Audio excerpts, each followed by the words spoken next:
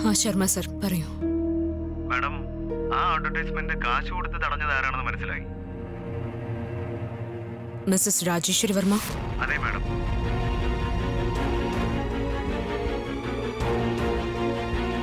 Thank you Sharma sir. Raji ഒരു ദിവസം കൊണ്ട് നീ ചെയ്ത കാര്യങ്ങളുണ്ടല്ലോ അതെനിക്ക് വല്ലാതെ ഇഷ്ടപ്പെട്ടു.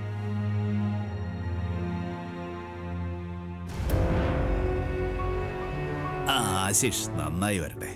എന്റെ അനുഗ്രഹം എന്നും നിന്നോടൊപ്പം ഉണ്ടാവും. ആ കൊള്ളാൻ പാനും നല്ലൊരു കാര്യം തന്നെയാ നീ ചെയ്തത്. എടുത്തോളൂ ഹേമന്തേട്ട സ്വീറ്റ്സ് എടുത്തോളൂ. ആ ഒരു മിനിറ്റ്.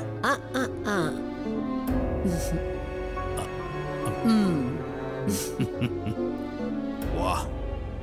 പോണ്ട പോണ്ട. നിക്ക് നിക്ക്.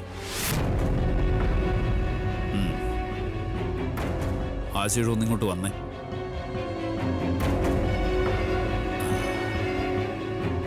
ദാ ഇത് വെച്ചോ.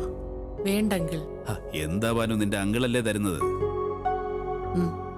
നിനക്ക് മാത്രമല്ല അവർക്കും കൂടി കൊടുക്കണം കേട്ടോ. ആ ആ മതി മതി മതി മതി. പൊയ്ക്കോ പൊയ്ക്കോ. ആശിഷ് മോനെ എനിക്ക് നിന്നോടൊരു കാര്യം പറയാനുണ്ട്. ആശിഷ് മോനെ എന്റെ മോൾ നീനയുടെ കണ്ണുകൾ ഒരിക്കലും നനയാൻ ഇടവരരുത്.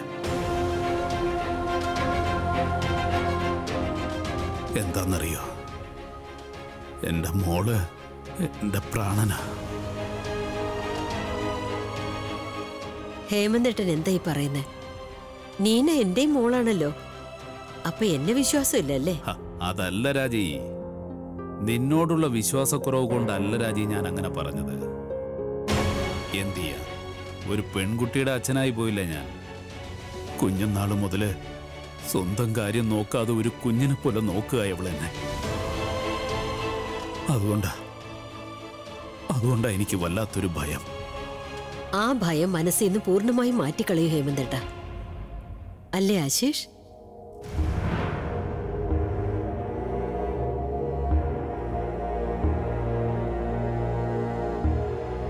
അങ്കിൾ ഒട്ടും തന്നെ വിഷമിക്കേണ്ട കാര്യമില്ല.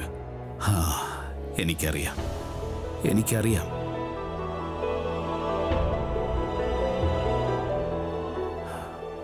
ഞാനത്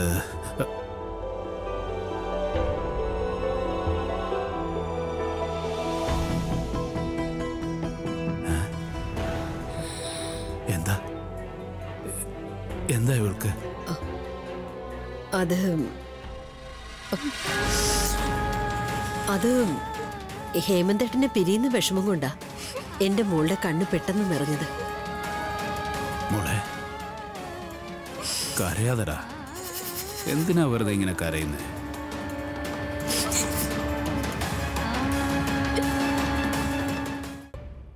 നമ്മുടെ കഥയെന്ന് പറഞ്ഞ്? ഓ ഈ മമ്മിയുടെ ഒരു കാര്യം. നമ്മുടെ കഥയെന്ന് പറഞ്ഞ നമ്മുടെ ജീവിതത്തിന്റെ കഥ. ഒരു സിനിമ ചെയ്യാനും വേണ്ടി നമ്മുടെ ജീവിതത്തിൽ എന്താ ഉള്ളത്? അങ്ങോട്ട് മാറി നിക്ക് വൃത്തിയാക്കട്ടെ. ഓക്കെ. മമ്മി ഒരു സിനിമ നിർമ്മിക്കാൻ പറ്റിയ കഥയാണ് നമ്മുടെ ജീവിതത്തിലുള്ളത്. ഒന്ന് ആലോചിച്ച് നോക്ക്. റൊമാൻസ് ഉണ്ട് ആക്ഷൻ ഉണ്ട് ചതിയുണ്ട്. ഡ്രാമയുണ്ട്. ഇനി കൂടുതൽ എന്താണ് ഇല്ലാത്തതെന്ന് ചോദിക്കേ. നീ പറയുന്നൊന്നും എനിക്ക് മനസ്സിലാവുന്നില്ല. മമ്മി ഇത് കേട്ടോളൂ. ഞാൻ മമ്മിക്ക് കഥ വിശദമായി പറഞ്ഞു തരാം. ഇനി ഇമാജിൻ ചെയ്തോളൂ. സിനിമ ആരംഭിക്കുന്നു. മമ്മി ഹീറോയെ കണ്ടുമുട്ടുന്നു. മമ്മിക്ക് ഹീറോയുടെ പ്രണയം ഉണ്ടാവുന്നു. അങ്ങനെ ഒരു ദിവസം മമ്മി ഒരു തീരുമാനത്തിലെത്തുന്നു. മമ്മി മകളായ അവനിക്ക് ജന്മം നൽകാൻ തയ്യാറാവുന്നു. എന്ത് ഡ്രാമയായിരിക്കും. അങ്ങനെ മമ്മി അവനിക്ക് ജന്മം നൽകുന്നു. ഹീറോ തീർത്തും ഒരു ബലഹീനൻ നട്ടലില്ലാത്തൊരു മനുഷ്യൻ. വാ എന്ത് ഡ്രാമയാ.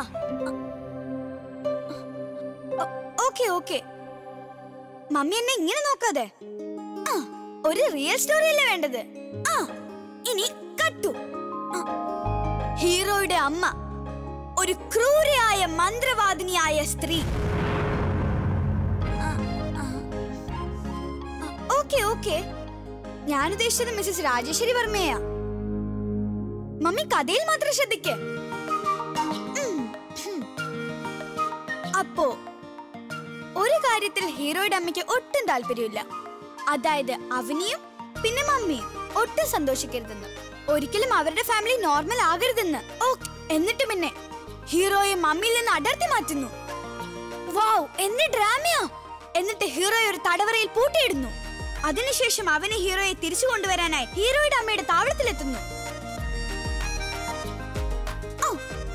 അവൾ അവിടെ എത്തിയപ്പോൾ അവിടെ എത്തിയപ്പോൾ അവനിക്ക് മനസ്സിലാവുന്നു. അവളോട് വഞ്ചനയാണ് കാട്ടിയതെന്ന്. ഹീറോ ആ താവളത്തിൽ നിന്ന് ഇറങ്ങിയതേയില്ല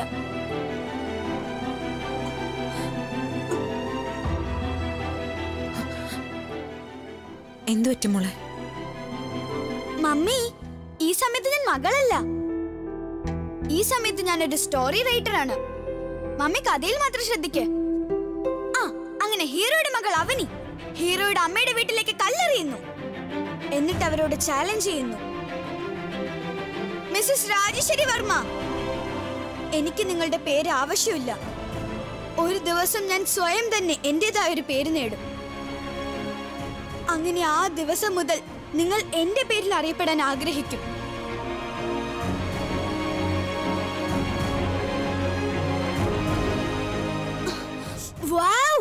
എന്ത് ഡ്രാമയാ! പിന്നെ ലഹള ആരംഭിക്കുന്നു. തടസ്സങ്ങൾ ആക്ഷൻ ഡയലോഗ്സ് പിന്നെ വിധി. അങ്ങനെ അവസാനം ഒരു ദിവസം അവന് സ്വയം പേര് നേടുന്നു. വാവ് വാട്ട് എ ഡ്രാമ പിന്നെ എന്ത് സംഭവിക്കും? പിന്നെ അവനെ അവളുടെ ജീവിതത്തെ കുറിച്ചൊരു സിനിമ ചെയ്യുന്നു. അങ്ങനെ ആ സിനിമ സൂപ്പർ ഡൂപ്പർ ഹിറ്റായി മാറുന്നു. അതോടെ അവന് പേര് നേടുന്നു. അവനിയുടെ വീട്ടിൽ അവളുടെ സഹോദരി അനന്യ ജനിച്ചിരിക്കുന്നു.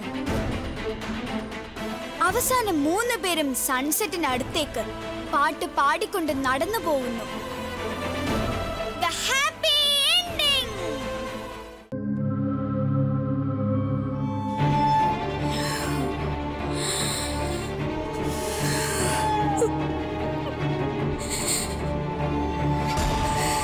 എന്തിനാ ആശിഷ് ഇങ്ങനെയൊക്കെ ചെയ്തത്? Thank നിന്നെ എന്നും സ്നേഹിച്ചിട്ടല്ലേ ഉള്ളൂ ആശിഷ്. കുഞ്ഞുനാൾ മുതൽ ഇന്ന് വരെ നീ മാത്രമല്ല എന്റെ മനസ്സിലുണ്ടായിരുന്നത്. ഒരുപാട് ഒരുപാട് ഞാൻ നിന്നെ ഇഷ്ടപ്പെട്ടു പോയി. എനിക്ക് നീ മാത്രമായിരുന്നു എല്ലാം. എന്റെ ഫ്രണ്ട് എന്റെ കമ്പാനിയൻ എന്റെ പാർട്ട്ണർ എല്ലാം നീ മാത്രമായിരുന്നില്ല ആശിഷ്. പിന്നെ എന്തിനാ നീ എന്നോട് ഇങ്ങനെയൊക്കെ ചെയ്തത്? എന്നോട് മാത്രമല്ല എന്റെ അച്ഛനോട് നീ ചതിയല്ല ചെയ്തത് ആശിഷ്? ഇപ്പൊ നീ എന്നോട് ഈ കാണിച്ച ചതി ഉണ്ടല്ലോ. ഈ ചതി അത് അതെനിക്ക് വിധി കാരണമല്ല ഉണ്ടായത് ആശിഷ്. നീയും നിന്റെ അമ്മയും കൂടി ചേർന്നാ ഞങ്ങളോടത് ചെയ്തത്. നീ എന്തിനു എന്നോടത് ചെയ്തെന്ന്? ഞാൻ നിന്നോട് പറയട്ടെ. കാരണം യു ആർ എ ലയർ ഏറ്റവും Ashish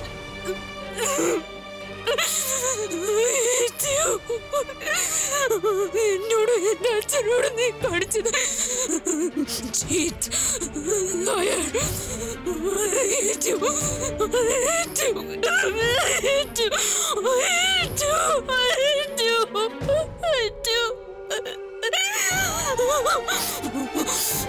I hate you. I hate you, cheat. I hate you.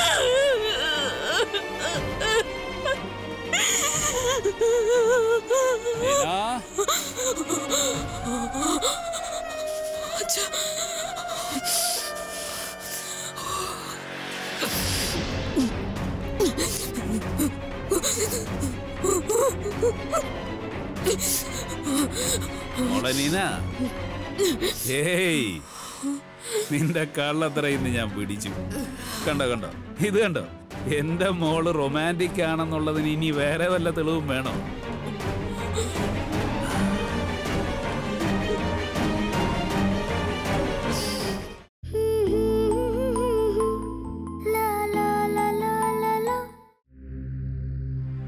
എന്താ മോളെ? നീന? മോളെ? എന്തു പറ്റി ഒന്നുമില്ല. മോളെ എന്താ ഉണ്ടായതെന്ന് എന്നോട് പറ? എന്താ എന്തു പറ്റി? എനിക്ക് ഒരുപാട് ദേഷ്യം തോന്നാ അച്ഛ. ദേഷ്യോ? ഒരുപാട് ഒരുപാട് ദേഷ്യം. മോളെ ദേഷ്യത്തോടൊപ്പം ഈ കണ്ണുകൾ കൂടി നനയുന്നുണ്ടെങ്കിൽ നിന്റെ മനസ്സ് വേദനിച്ചു എന്നർത്ഥം ആശിഷ് എന്തെങ്കിലും പറഞ്ഞോ? എന്താ കാര്യം എന്നോട് പറയേ. എന്റെ അച്ഛൻ എത്ര നല്ലതാ. അതെനിക്കറിയാം. പറയും എന്താ ഉണ്ടായത്? അച്ഛൻ വളരെ ഇന്നസെന്റുവാ പക്ഷെ ലോകം ചീത്തയാ അച്ഛ. മോളെ എന്ത് പറ്റിയടാ? എന്താ? മോളെ കാര്യം പറ എന്താ ഉണ്ടായത്? ഞാനേ ഒരു കാര്യം ചോദിച്ചോട്ടെ അച്ഛാ. ആ ചോദിച്ചോ.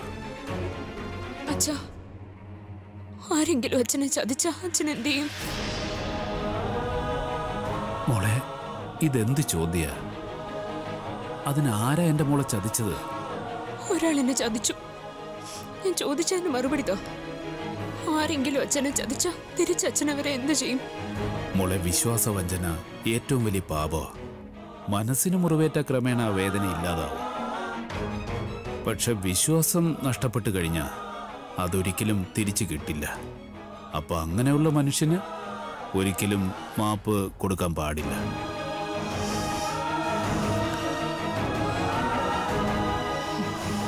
മോളെ.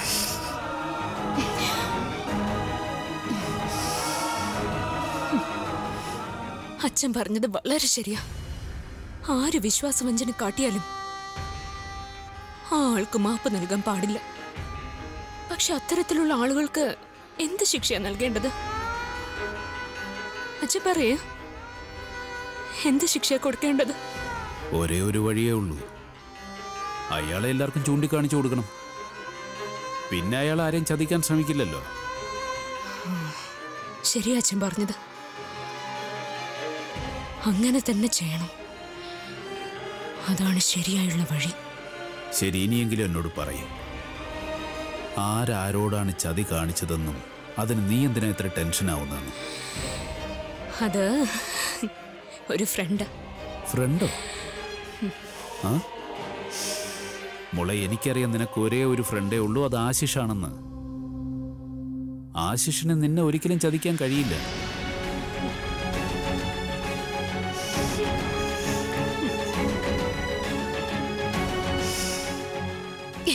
ഫ്രണ്ടാ? അച്ഛനറിയില്ല. സത്യം പറഞ്ഞില്ലെങ്കിൽ നിന്നെ ശരിയാക്കും. ഞാൻ നല്ല തല്ലു വാങ്ങും എന്റെ കയ്യിൽ നിന്ന് അയാളുടെ പ്രശ്നങ്ങൾ നീയാണ് തലയിലേറ്റിക്കൊണ്ട് നടക്കുന്നത്. വെറുതെ അസുഖം വരുത്തി വയ്ക്കാതെ. എനിക്കൊന്നുമില്ല എന്റെ നിന്റെ വിഷമം കാണുമ്പോൾ ഞാനും ടെൻഷനാവും. എനിക്ക് കുഴപ്പമൊന്നുമില്ല. ഇനി ഞാൻ എന്ത് ചെയ്യണമെന്ന് അച്ഛൻ പറയും. ആ ആളോട് പറയേ. നിന്റെ എൻജിഒയിലെ ആ ഫ്രണ്ടില്ലേ എന്തെങ്കിലും ഒരു തീരുമാനത്തിൽ എത്തുന്നതിന് മുമ്പ് സത്യം എന്താണെന്ന് മനസ്സിലാക്കണമെന്ന്. ചിലപ്പോ വല്ല തെറ്റിദ്ധാരണയുടെ പുറത്താണെങ്കിലോ? ഇല്ല. അത് തെറ്റിദ്ധാരണയൊന്നുമല്ല. മോളെ ഒരു പ്രാവശ്യം അന്വേഷിക്കുന്നതിൽ എന്താ തെറ്റുള്ളത്? നോക്ക്. ഓരോ കഥയ്ക്കും രണ്ട് വശങ്ങളുണ്ട്. അല്ലേ? പിന്നെ ഈ വിശ്വാസവഞ്ചന സാധാരണ എപ്പോഴും നമ്മൾ ഏറ്റവും അധികം സ്നേഹിക്കുന്ന ഏറ്റവും അധികം വിശ്വസിക്കുന്ന ആളിൽ നിന്നാ ഉണ്ടാവുക. ചിലപ്പോൾ നമ്മൾ പ്രതീക്ഷിക്കാത്ത ആളിൽ നിന്നായിരിക്കും അത്. അതുകൊണ്ട് ഇതിന്റെ സത്യാവസ്ഥ എന്താണെന്ന് അറിയേണ്ടത് അത്യാവശ്യമാണ് എന്തായാലും അച്ഛനോട് ഞാനത് പറഞ്ഞത് വളരെ നന്നായി. ഇനി ഞാൻ എന്റെ ഫ്രണ്ടിനോട് പറയാൻ പോവാ. ആദ്യമേ തന്നെ എല്ലാം കണ്ട് മനസ്സിലാക്കി അതിന്റെ സത്യങ്ങളെല്ലാം അറിഞ്ഞ് പിന്നീട് തീരുമാനത്തിലെത്താൻ. ഞാൻ ആ ഫ്രണ്ടിനോട് പറയും. താങ്ക് യു അച്ഛ.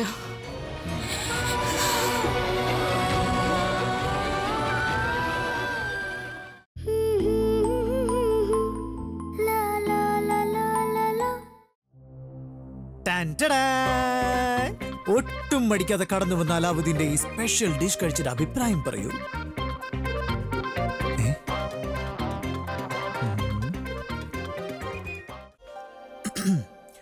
നിങ്ങൾക്ക് എന്താ തോന്നുന്നത് നമ്മൾ ഈ ടാക്സിന്റെ സ്ലാബ് കുറയ്ക്കുമ്പോൾ മാർക്കറ്റിൽ പ്രോഡക്റ്റിന്റെ ജി എസ് ടിയും കൂടി വന്നാൽ ഉടനെ തന്നെ നമ്മൾ ഇമ്പോർട്ട് ഡ്യൂട്ടി കൂട്ടിയേ പറ്റൂ. എനിക്കൊന്നും മനസ്സിലായില്ല. എനിക്കും കാര്യമായിട്ടൊന്നും മനസ്സിലായില്ല. അല്ല നിങ്ങൾ ഇത്ര ഗഹനമായിട്ട് ചിന്തിക്കുന്നത് കണ്ടപ്പോൾ എന്റെ മനസ്സിലൊരു ചിന്തയുണ്ടായി. ഒരുപക്ഷെ നിങ്ങൾ ഈ പാരിസ്ഥിതിക പ്രശ്നത്തെക്കുറിച്ചാണ് ആലോചിക്കുന്നതെങ്കിൽ അതിന് നിങ്ങളെ സഹായിക്കാനായി ഞാനുണ്ടെന്നുള്ള ചിന്ത. എന്താ? ഞാൻ പറഞ്ഞു ശരിയല്ലേ? നമ്മൾ ഈ മാനസികമായിട്ടുള്ള പരിഗണനകൾ കൂടിയല്ലേ അയ്യോ ഞാൻ നിങ്ങളോട് പറഞ്ഞ മമ്മിയൊന്നും ഒന്ന് വശത്താക്കാനോ? ഈ സിനിമ ചെയ്യാൻ എങ്ങനെയെങ്കിലും മമ്മി ഒന്ന് പറഞ്ഞ് സമ്മതിപ്പിക്ക. പക്ഷെ മമ്മിയോട് നിങ്ങൾ എന്തൊക്കെയാ പറഞ്ഞത്? ആന്റി എന്താ? നമ്മൾ സാധാരണ ഹണ്ടിങ്ങിന് പോകുമ്പോ ഹൺ ചെയ്യുന്നതിന് മുമ്പ് നമ്മൾ ആ ഇരയെ കൊണ്ടൊന്ന് അട്രാക്ട് ചെയ്യിപ്പിക്കണം. യു വാച്ച് നിങ്ങൾ അവിടെ നിന്ന് എന്താ ഇപ്പൊ പിന്നെ അപ്പോഴേ ഞാൻ നിങ്ങളോടൊരു ചോദ്യം ചോദിക്കട്ടെ? വേണ്ട. ഇപ്പൊ ശരിയാക്കി തരാം. ഐഷ എന്തിനാ നിങ്ങൾ എന്നെ പേടിക്കുന്നത്? നിങ്ങളുടെ ഹൃദയം ഞാൻ കവരുന്നുള്ള പേടിയാണ്. നിങ്ങൾ എന്തൊക്കെയാ ഈ പറയുന്നത് എനിക്ക് നിങ്ങളെ പേടിയൊന്നുമില്ല. ഒട്ടും പേടിയില്ലല്ലേ? എങ്കിൽ എന്റെ ചോദ്യങ്ങൾക്ക് ഉത്തരം എന്താ? നിങ്ങൾ ആറു മണിക്ക് എണീക്കോ. ആ. പനീർ ഫേവറേറ്റ് അല്ലേ? അതെ. സുമതി ചേച്ചി ഏറ്റവും അടുത്ത കൂട്ടുകാരിയാ. എന്തിനാ ഇതൊക്കെ? അയ്യേ പേടിച്ച് പേടിച്ച് പേടിച്ച് പോയി. ഞാൻ പറഞ്ഞില്ലേ നിങ്ങൾക്ക് എന്നെ പേടിയാണെന്ന്! അല്ല സുമതി ചേച്ചി എന്റെ ഫേവറേറ്റ് ഫ്രണ്ടാ ഓക്കെ. പച്ചക്കറി വാങ്ങാൻ ഒറ്റയ്ക്കല്ലേ പോകുന്നത് ഇപ്പൊ രാത്രിയായില്ലേ? ആ. നിങ്ങൾക്ക് വിശക്കുന്നുണ്ടോ? ആ. ടി വി കാണാറുണ്ടോ? ആ. അപ്പൊ അവൻ ഈ സിനിമ ചെയ്യാൻ സമ്മതിക്കും? ഐ എം ജസ്റ്റ് ഗുഡ്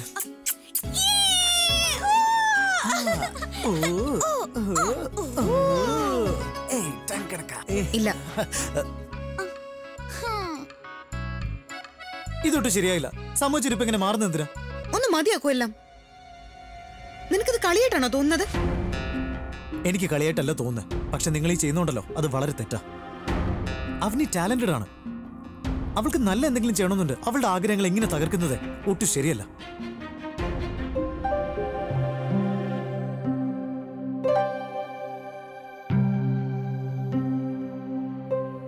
എട്ട് മണിയായി റൂൾസ് അനുസരിച്ച് നീ ഇനി ഈ വീട്ടിൽ നിൽക്കാൻ പാടില്ല.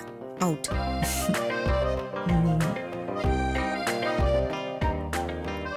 out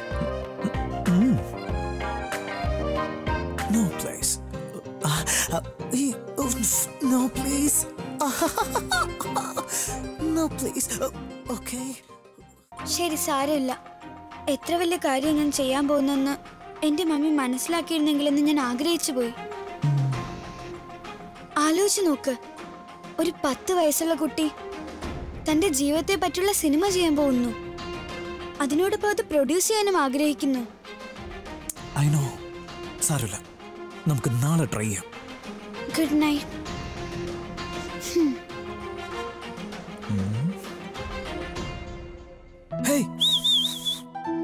ഇങ്ങോട്ട് വാ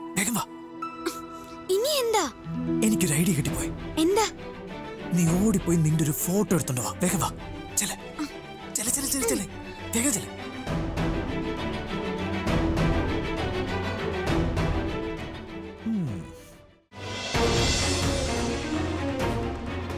ഈ ക്രാക്ക് പോട്ടിന്റെ കാര്യം. ഓ ഈ ക്രാക്ക് പോട്ട് എന്താ ചെയ്തു വെച്ചിരിക്കുന്നേ?